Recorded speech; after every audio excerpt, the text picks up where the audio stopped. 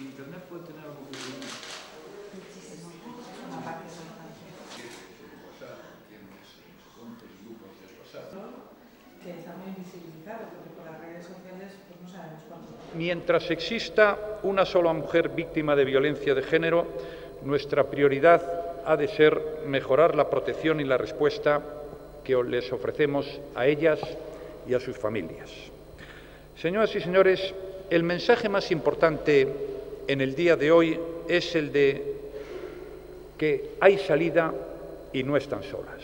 La jornada de hoy simboliza la respuesta más digna frente a la injusticia más indigna, la violencia repetida y violenta de los derechos humanos de mujeres y de niñas por el único hecho de serlo.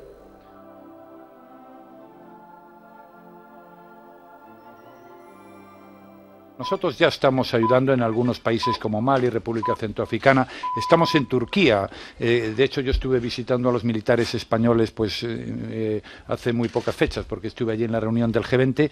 Entonces, yo, en cuanto tenga, se me haga un planteamiento, lo que haré será reunir a los diferentes grupos políticos, a los cuales ya les dije que cuando yo tuviera ese planteamiento lo reuniría y, bueno, pues les plantearé cuál es mi posición e intentaremos buscar un acuerdo entre todos.